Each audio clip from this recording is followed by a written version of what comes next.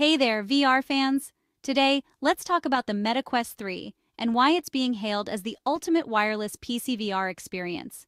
If you're into VR gaming, you know that going wireless can be a total game changer. No more tripping over cables or feeling restricted in your movements. And guess what? The creator of Virtual Desktop, Guy Godin, has come out and said that the Quest 3 is the best wireless PC VR headset by far. So, what's all the hype about? First off, the Quest 3 features Wi-Fi 6E, which means super fast, low latency streaming from your PC. Imagine playing your favorite PC VR games with crystal clear visuals and almost no lag. It's like having the power of a high-end gaming PC right there in your headset without being tethered down. But it's not just about the tech specs. The Quest 3 is also incredibly user-friendly.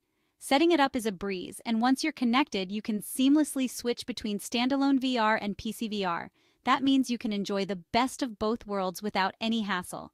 Now, some of you might be wondering about battery life. The Quest 3 has got you covered with an impressive battery that lets you play for hours on end. And if you do run low, fast charging means you'll be back in the game in no time. And let's not forget about comfort. The Quest 3 is designed with extended play sessions in mind.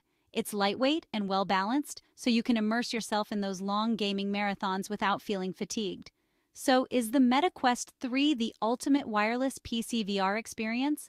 According to Guy Godin and many others, the answer is a resounding yes. If you're serious about VR gaming, this headset is definitely worth checking out. Thanks for watching.